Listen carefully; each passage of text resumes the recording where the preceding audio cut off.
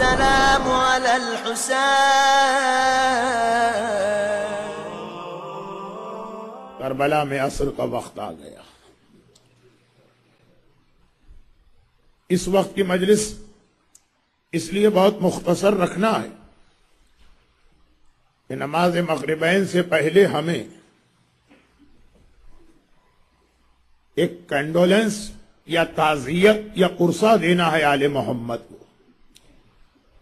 दिन का अख्ताम एक जियारत पर होता है जिसका नाम ही है कंडोलेंस जियारत। पुरस, वाली जियारत ताजियत वाली जियारत। आसन अल्लाह अल्लाह के रसूल से हम कहते हैं कि हम आपकी बारगाह में ये पुरसा लेके आए। तो ये जियारत भी हमें मगरिब की नमाज़ से पहले पहले पढ़ लेना। तो मसायब तो दोपहर की मजलिस में भी हुए और शाम गरीमा में भी होंगे। तो मजलिस बहुत मुख्तसर है, मगर ये पुरसे की जियारत इसलिए बहुत अहम है कि जैनब का माजाया मारा गया, कोई पुरसा देने ना आया। लैला का अकबर मारा गया, कोई पुरसा देने ना आया। उम्मे फरवा का कासिम मारा गया, कोई पुरसा देने ना आया। पुरसा तो दरकिनार खेमे जलाने वाले आए, चादरें छीनने वाले आए, कोड़े बरसाने वाले आए। कुरान मुख्तसर से सूर्य में जिस मंजर को बयान कर रहा 61 हिजरी के मैदान करबला, टेंथ ऑफ़ मुहर्रम जुमे का दिन। कुरान की इस आयत की इससे ज़्यादा मुनासिब तफसीर नहीं हो सकती। कुरान कह रहा है, वल असर असर की कसम। इन्नल इंसान लफी खुसर। आके देखो कि इंसान और इंसानियत कितने खसारे के अंदर है। जलता सूरज है, तपती रहती है। एक लाशा यहाँ पड़ा है, एक लाशा वहाँ मौजूद है। किसी के बदन के टुकड़े वहाँ नज़र आ रहे, कोई बेहात का लाशा फुरात के किनारे मौजूद है। और एक यको तन्हा इस ज़मीन पे अल्लाह का नुमाइंदा उज्जत खुदा। बस इस शान के साथ अपना जिहाद कर रहा है।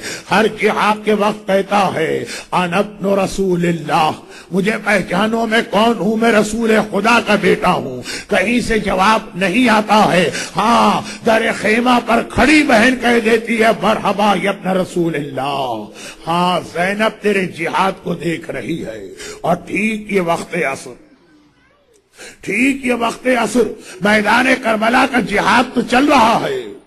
शहर मदीना में रसूल खुदा की बेवा उम सलमा सो रही है। इकसठ हिजरी है, जुमे का दिन है, आशूरा है। उम्म सलमा अपने हुजरे में सो रही हैं। एक मरतबा पचास साल बाद ग्यारह हिजरी में रसूल खुदा की वफात हुई है। इकसठ हिजरी के अंदर पचास साल बाद उम्मे सलमा ने असर के वक्त पैगंबर को ख्वाब में देखा। मगर बड़ी अजीब हालत में देखा। सर पे अमामा नहीं है। बाल बिखरे हुए हैं। बालों पे मिट्टी पड़ी है। आँखों से आँसू जारी है। अल्लाह का रसूल नंगे सर भी है, नंगे पैर भी है। आस्तीने बुलंद हैं। रोते हुए नज़र आए। उम्मे सलमा घबरा गई। या रसूल अल्लाह, आपकी ये क्या कैफियत है? आप कहाँ से आ रहे जवाब दिया उम्मे सलमा में करबला के मैदान से आ रहा हूँ। और जब मैं करबला के मैदान से चला था, मेरे हुसैन का सर काट के नोक नैजा पे बुलंद किया जा रहा था। अभी उम्मे सलमा ख्वाब देखने के फ़ौरन बाद, तेज़ी के साथ उस अलमारी की जाने बढ़ी जिसके अंदर वो शीशी रखी है, जिसमें रसूल खुदा करबला की खाक शिफा दे के गए थे। उम्मे सलमा, जब मेरा हुसैन मारा जाएगा, जब मेरा हुसैन मारा जाएगा, करबला की ये मिट्टी खून बन जाएगी। उम्मे सलमा ने शीशी निकाली, एक मरतबा ताज़ा खून नज़र आ रहा, जोश खाता हुआ खून नज़र आ रहा, जो दलील इस बात की है, हुसैन का सर कट गया। हुसैन का गला कट गया। हुसैन का सरनों के नेजा पे बुलंद हुआ, मगर एक बार उनमें सलमा शीशी को छुपाने की कोशिश कर रही है, क्योंकि बराबर के हुजरे से सुखरा की आवाज़ आ रही है। नानी नानी, क्या आप मुझे ये बता सकती है, मेरा बाबा किस हालत में है? मेरा भैया अकबर किस हालत में है?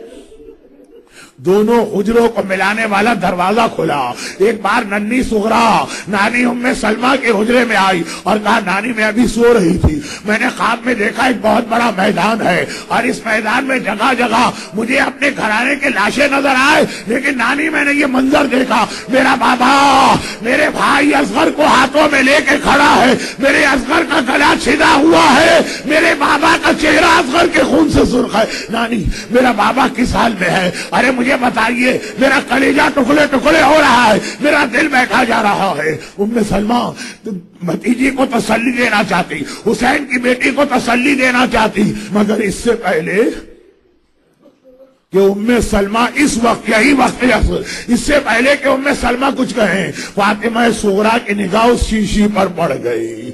और एक बार ताज़ा खून जो जोश खाते देखा बेख्तियार बच्ची फरियाद करती है, नानी, अब मुझे कुछ ना बताइए, नानी, अब मुझे कुछ नहीं पूछना है, अरे मुझे पता चला, अरे मेरा बाबा मारा गया, आए सुगरा यतीम हो गई, अरे मेरे सर पे यतीमी आ गई, मेरा दिल चाहता है अल मेहदी सेंटर टोरंटो में ये मोमिनीन कराम, इनकी जानब से अपनी शहजादी की खिदमत में हाथ जोड़ के अर्ज़ करूँ। ऐ शहजादी, हम ताजियत पेश कर रहे, हम पुरसा दे रहे, आप यतीम हुई आपका बाबा मारा गया।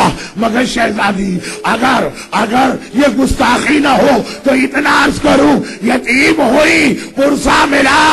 आपने हाय बाबा कहा, एक करबला की यतीमा है। बाबा उसका भी मारा गया। यतीम वो भी हुई है, उसे कोई पुरसा देने वाला नहीं। हाँ तमाचे मारने वाले हैं हाँ कोड़े लगाने वाले हैं।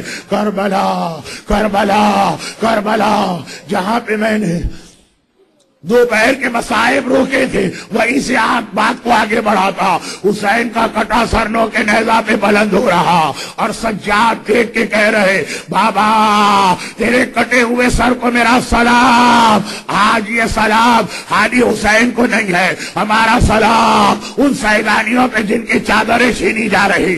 हमारा सलाम उन बच्चों पर जिनके रुखसार पे तमाचे लगाए जा रहे। हमारा सलाम उस बीमार पर जिसकी कमर पे कोड़े बरसाए जा रहे हैं। हमारा सलाम। मगर मगर, हुसैन का कटा सरनों के नैजा पे भलंग है और हुसैन का बदन कहाँ है? हुसैन का बदन कहाँ है? एक बार मिसारे साथ एक बार हमारे साथ अपनी फौज से कहता है, तुम अरब के रहने वालों तुम्हें पता है, जब हम किसी से पूरा इंतकाम लेते हैं तो उसके लाशे पे घोड़े दौड़ाते हैं।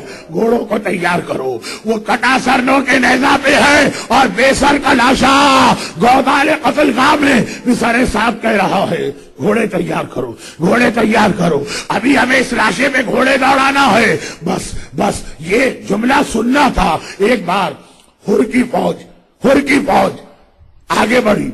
वो दस्ता वो रिसाला का हमारे साथ हमारे सरदार ने बड़ी गलती की, सजा बर्दाश्त कर ली, लेकिन हमारी खैरत के खिलाफ है कि हमारे होते हुए उनका लाशा पामाल किया जाए। हमारे साथ ने कहा उनसे मेरा कोई बड़ा इख्तलाफ नहीं है, ले जाओ हुर का लाशा, हुर का लाशा चला गया, कबीला बनी असद आगे बढ़ा कहता है हमारे साथ हबीब इब्ने मुजाहिर, ठीक है, हुसैन का साथ दिया, मगर हम कबीला बनी असद वाले ये बर्दाश्त नहीं कर सकते। उमर साद ने कहा हबीब से भी मेरा क्या झगड़ा था? जाओ हबीब का लाशा भी ले जाओ। एक एक शहीद का कोई ना कोई वारिस आता, एक एक शहीद का कोई ना कोई जानने वाला आता। सारे लाशें एक एक करके सारे लाशें उठा लिए गए। कोई लाशा ज़मीन करबला पे न रहा। हाँ एक मोहम्मद के नवासे का लाशा है। हाँ अली के लख्ती जगर का लाशा है। हाँ फातिमा के दिलबन का है कोई नहीं जो आगे आकर कहे, आए हमारे साथ, ये मोहम्मद का नवासा। अली अकबर ज़िंदा होता, बाबा के लाशे को बचाता। इधर घोड़े दौड़े, इधर घोड़े दौड़े, और उधर जैनब के कान में ये आवाज़ आई, एक मरतबा कहा, अम्मा पिज्जा मेरा भैया तो मारा गया। अब ये घोड़े क्यों दौड़ रहे हैं? फिजा बाहर आई। अजीब मंजर देखा। फातिमा का लाल। घोड़ों की टापो तले। बस एक मरतबा आवाज़ दी। शहजादी, जरा बाहर आके ये मंजर तो देखिए। हाय जैनब कुबरा खेमे से बाहर आए दौड़ते हुए घोड़े देखे। एक बार पहले तो मदीने का रुख किया। नाना रसूल खुदा, जिस हुसैन को सीने पे सुलाता था। आके देख। हुसैन के सीने पे घोड़े दौड़ रहे हैं। नाना रसूल खुदा। और फिर पलट के एक बार फरात को देखा। अब्बास, अरे तू ना रहा तो आके दे किस तरह तेरे आका के लाशे पे घोड़े दौड़ रहे। लेकिन ये अब्बास को जैनब ने एक ही बार नहीं पुकारा। अरे इससे पहल को बार बार और बार बार अब्बास को पुकारना है। इसलिए कि फिर जैनब खेमे में गई, एक मरतबा फिर, एक मरतबा फिर घोड़े दौड़ने की आवाज़ सुनी। कहा, अम्मा फिजा जरा देखना। अब ये घोड़े क्यों दौड़ रहे? और फिजा बाहर आई। अजीब मंजर देखा। उमर साथ कहता है, हमला करो खेमों पर, हमला करो मालो असबाब पर। आगे बढ़ो, जिसको जो सामान मिले लूटो। अब ये फौज बढ़ी चली आ रही है। ये फौज बढ़ी चली आ रही है। इधर खेमा जला। सारी बीबियाँ दूसरे खेमे में गई। दूसरा खेमा जला। अजादारो आग बढ़ रही है। खेमे जलते चले जा रहे हैं। सत्तरा खेमे जले अठारवे खेमे में खानदान जमा हो गया। अठारवा खेमा, एक बार सारी बीबियों ने हाथ जोड़े। शहजादी जैनब आका खेमे में बिठा के गए थे और ये कह रहे थे, मेरे पास जैनब का हुक्म मानना। अब ये बताइए, हमारी ज़िम्मेदारी क्या है? खेमे में जल के मर जाए या खेमे से निकल सकते हैं? जैनब ने कहा बीबियों बीबियों मेरा भैया मारा गया, मगर मेरा भतीजा, मेरा इमाम वक्त है। आगे बढ़ी, सज्जाद, ये बता, तेरी फूफी क्या जवाब दे? सज्जाद ने कहा फूफी अम्मा अलैकुन्ना के सहरा, पर्दा साकित है, लुटे हुए घर को लेके सहरा में निकल जाइए। जैनब लुटे हुए घर को लेके निकली, करबला के बाद। कई साल बाद मदीने में किसी ने आका सज्जाद से सवाल किया था, आका, आखिरी खेमे से आपका घराना कैसे निकला? आका के हाथ में तस्वीर थी। कहा, अगर ये तस्वीर टूट जाए तो दाने किस तरह बिखर जाते हैं? दाने किस तरह फैल जाते हैं? मैदान करबला में, अरे मोहम्मद की औलाद, फातिमा के बेटे इस तरह बिखर के रह गए। मगर दो रिवायतें, सिर्फ़ दो रिवायतें। और दूसरी रिवायत अगर आप बर्दाश्त कर सके, सिर्फ़ दो रिवायतें बाकी मसाइल शाम गरीबा की मजलिस में। पहली रिवायत, अब ये सब तस्वीर के टूटे हुए दानों की तरह से एक बार मैदान करबला में बिखरे बादे वाक़ है करबला। एक और सवाल, किसी ने कहा, फरजंद रसूल, जब ये खेमा जला, आखिरी खेमा जला, सारी बीबियाँ बाहर आई, सारे बच्चे बाहर आए, हर एक परेशान था, हर तरफ़ आवाज़ थी, वाह जद्दा, वाह मोहम्मदा, वाह अलिया। हमने सुना है, एक बीबी, मैं नहीं था, वो कह रहा है, मैंने सुना है, एक बीबी ऐसी थी, सुर्ख चादर को ओढ़े हुए है सब्र इस्तकामत का मुजस्मा है, कभी बच्चों को संभाले, कभी सैदानियों को तसल्ली दे, कभी आपको जलते खेमे से लेके आए, मौला वो कौन बीबी थी? मेरे मजलूम आका ने सर झुका के कहा, वो मेरी फूफी, सानिय जहरा, जैनब कुबरा थी। रावी कहता है, लेकिन मौला, जो लोग करबला में थे, उन्होंने कहा, जैनब के सर पे सुर्ख चादर थी तो शाम गरीबा, जैनब को कोई सफ़ेद चादर ना मिली? हाय मेरा आका सज्जाद, चीखे मार के रो दिया। सवाल करने वाले, तूने तूने सवाल नहीं किया है। मेरे कलेजे में बर्छी उतार दी है। मेरी पोपी की चादर सफ़ेद थी, मेरी पोपी की चादर सफ़ेद थी। जब अकबर का लाशा खेमे में आया और मेरी बूटी, हाय अकबर बेटा कह के लाशे पे गिरी तो ये जवान के सीने से निकलने वाला खून है, जिसने मेरी बूटी की सफ़ेद चादर को सुर्ख कर दिया। अकबर का खून जैनब की चादर पे लगा है और जैनब सारे घर को जमा कर रही है। मगर अब बड़ी अजीब रिवायत आ गई है। बस इससे ज़्यादा पढ़ने की हिम्मत, ताकत और वक्त नहीं है। बड़ी अजीब मंजिल आ गई है। एक मरतबा, सुर्ख चादर जैनब के सर पे है। वो अकबर का खून है जो झलक रहा है। और फिर मुख्तार के दरबार में खूली पकड़ के लाया गया। मुख्तार ने कहा खूली ये बता तूने करबला में क्या क्या किया है? ये खूली का जवाब सुनिए। ये शाम गरीबा नहीं आई। अभी शाम गरीबा नहीं आई। असल का वक्त है और खूली कहता है, जब मेरे आका उमर साध ने हुक्म जारी किया, दौड़ो मालो असबाब लूटो, खेमे जलाओ, सारी फौज आई, मुझे आने में कुछ देर हो गई। जब मैं पहुँचा, मैंने देखा, सारा असबाब लूटा जा चुका है। अब कुछ नहीं बचा है। अब मुझे कुछ नहीं मिल रहा। हाँ हाँ मेरी निगाह एक छोटी सी बच्ची पे पड़ी, जिसके कान में सादा सी बालियाँ थी, जिसके कान में बहुत मामूली बुंदे थे। मैंने देखा मैंने देखा ये बुंदे कैसे बच गए? पता चला, ये इतने कम कीमत है। और जब कोई जालिम जाता है ना, ये बच्ची अपनी बालियों पे हाथ रखती है और कहती है, ये मेरे बाबा का तोहफा है। अरे, तुमने मेरे बाबा को मार दिया। बाबा की निशानी तो सकीना के पास रहने दो। जालिमों का दिल टुकड़े टुकड़े होता है। वो ये बालियाँ छोड़ के बढ़ जाते हैं। खूनी कहता है, मैंने देखा, जब मुझे कुछ और, मुझे कुछ और नहीं मिल रहा। मैंने कहा, मैं अपना नुकसान क्यों करूँ? मैं तेज़ी से आगे बढ़ा। वो बालियाँ छीनना चाही। बच्ची ने बालियों को छुपाया। अरे, मेरे बाबा का तोहफा है। बाबा ना रहा। बाबा का तोहफा तो रहे। मैंने देखा, देर हो रही है। मैंने कहा, बालियाँ दे दे। बच्ची ने कहा, मेरे बाबा का तोहफा है। जब मैंने देखा, वो बच्ची बालियाँ नहीं दे रही।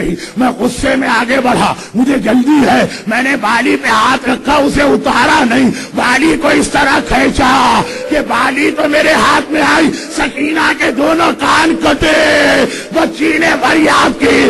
अरे बाबा, तू ना रहा तो देख तेरी सकीना। कहता मैं आगे बढ़ा। बस ये आखिरी जुमला, मुझसे तो पढ़ा भी नहीं जा रहा है। करबला की तारीख है, पढ़ना भी पड़ेगा। अभी बीच का जुमला, मैं आगे बढ़ा, मैं आगे बढ़ा। मैंने देखा, एक खेमा अभी बचा हुआ है। मैंने झाँक के देखा, उस खेमे में बीमार मुझे बिस्तर पे नज़र आया। अरे, फौजे यजीद ने भी ख्याल किया, ये बीमार है, ये इसे तकलीफ़ न दो। लेकिन मैंने सोचा, मैं अपना नुकसान क्यों करूँ? मैं आगे बढ़ा, और इतनी तेज़ी से वो बिस्तर घसीटा वो बीमार बिस्तर से मुँह के बल ज़मीन करबला से टकराया। मैं बिस्तर लेके चला, बस आखिरी जुमला। हाय, मैं कैसे पढ़ू? हाय, आप कैसे सुनेंगे? आखिरी जुमला। वो ये कहता है कि अब अब मैंने एक निगाह डाली। देखा, सारी चादरें छिन चुकी है। हर जालिम एक एक चादर ले गया। मगर अली की बेटी जैनब की चादर सलामत है। वही सुरख रंग सुरख रंग की चादर। जैनब का एक जलाल है। जैनब की एक हैबत है। अरे, किसी में हिम्मत नहीं पड़ रही कि चादरें जैनब पे हाथ डाले। हर एक को पता है, ये मोहम्मद की नवासी है। हर एक को पता है, ये फातिमा की बेटी और वारिस है। जैसे दोपहर की मजलिस में आपने सुना, हुसैन जख्मी है, हुसैन डगमगा रहे हैं, हुसैन जख्मों से चूर है, मगर कोई हुसैन के करीब आने की हिम्मत नहीं कर रहा। वही मंजिल है, कोई जैनब के करीब आने की हिम्मत नहीं कर रहा। मैंने सोचा, मैं अपना नुकसान क्यों करूँ? मैं तेज़ी से आगे बढ़ा। मैंने चादर जैनब पे हाथ डाला, इधर चादर को खींचना चाहा। एक बार जैनब ने दोनों हाथों से अपनी चादर को मजबूती से थामा। खूनी जवान आदमी है, फौज का सिपाही है जैनब पचपन बरस की जईफा है, अठारह दाग कलेजे में लगे हैं। हुसैन जैसा भाई मारा गया,